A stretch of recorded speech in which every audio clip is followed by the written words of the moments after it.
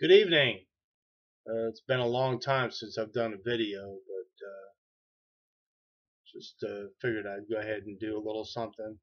I was stepping over the fence so outside here earlier uh, with my ash bucket from my uh, my wood stove, and I uh, I went head over heels, caught my pants on a, on a fence post, tore them up pretty bad.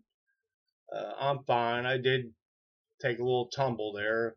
Shoulders, uh, eh, ain't nothing broke, but uh, I, I feel it a little bit, but I'm fine. So anyway, uh, tore the hell out of my pants, and uh, I said, "Oh, okay. Well, now I've got some good, uh, uh, good stuff here. We'll make some char cloth. we'll turn this negative into a positive." So I uh, got in the house, changed my clothes, got my knife out and everything, and I cut a whole one leg up of my uh, of my blue jeans there. Should be 100% cotton, and we're to check that out here in a minute. Um, so I cut that up into some, uh, I don't know, two by three inch patches. And what I do is I use an Altoids tin.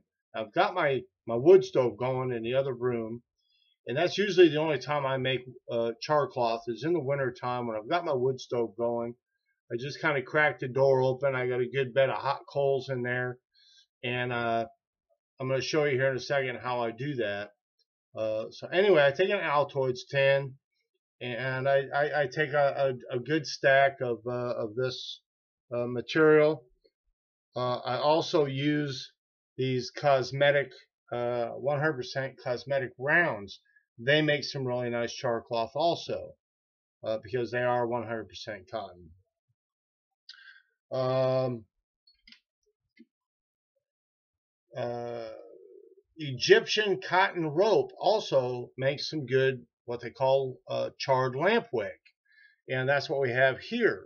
This is a piece of uh, half inch uh, uh, copper tubing about two three inches long just long enough to fit into a, an Altoids tin and uh, I, I, braid it uh, just you know with about uh, about nine strands of, uh, of the cotton rope. Got to make sure it's 100% cotton. And uh, then what you can do with this is push that out, pre-char it, and that will catch a spark wonderfully.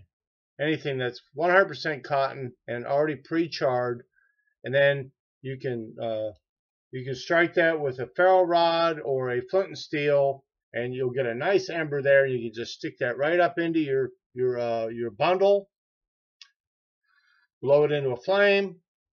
When you're done, you just simply pull that back down into the tube. It will self-extinguish, and you you you know you got to keep it dry. A number one when you're talking uh, flint and steel uh, char cloth. You've got to keep this stuff dry. That's the key. So anyway, I just thought I'd show you that. and I keep one of those in my kit. So anyway, uh, I cut up uh, some denim, which is 100, should be 100% cotton. I put it in my Altoids tin, and here I have a. Uh, this I think was a, a uh, piece of welding rod. I am a welder by trade. This is a piece of uh, steel TIG rod. And I made a little handle. And I, I fashioned it so that it will uh, go around my Altoids tin and hold it securely. And then with this, I can just slide this right into my wood stove, right into a good hot bed of coals, and just crack the door so I still have my good draft. I'm not smoking the house up. Uh, don't burn your house down. A number one, don't burn the house down. Uh, leave it in there for a good long time until uh, you know it's going to smoke and, and flames shoot out of the side of the tin. There's no reason to put an extra hole in it. There's enough ventilation uh, for that to happen. So I'm I haven't opened this yet. The other key is is to let it cool. Do not open this until it is cool. To, I can hold on to this. So now going to slide this uh, this wire off and I'm going to inspect to see how good of a char we got on this uh, on this cloth. If I can get this thing off of here, and uh, and then I want to see if it'll take a spark real quick. It's on there pretty tight, so I'm going to take my little pliers here and loosen that up.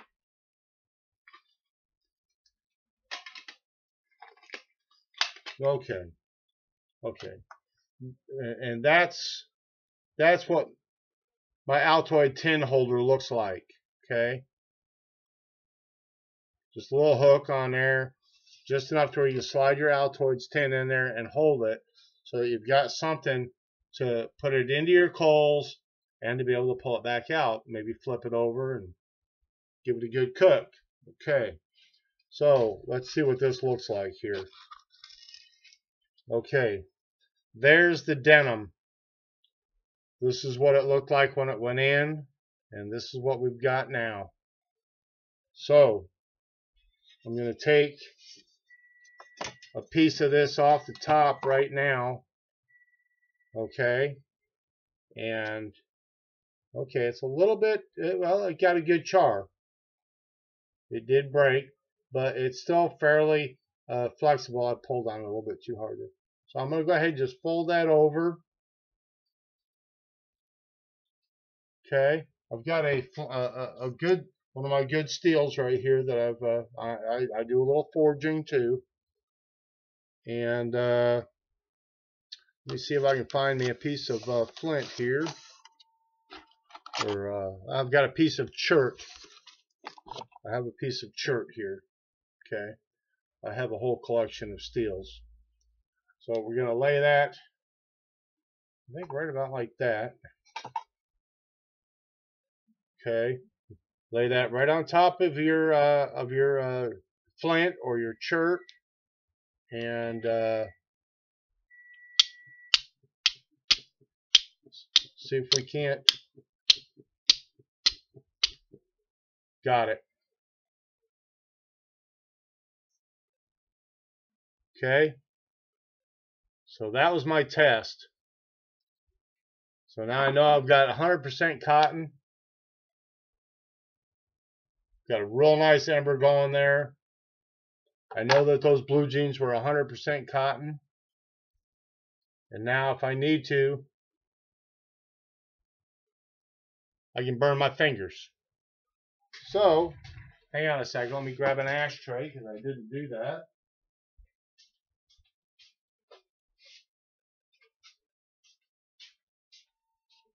So, once again, there's your char cloth. Now, you can do that with some punk wood uh, and, and other type of uh, material. Let me pause this for a second. I'll be right back. Sorry about that. Got uh, interrupted there. Dinner is about ready. And uh, so that's how I make my char cloth. And this looks like it's going to be a really good batch and I'll, I'll, I'll do you know quite a few more batches tonight before I uh, turn in.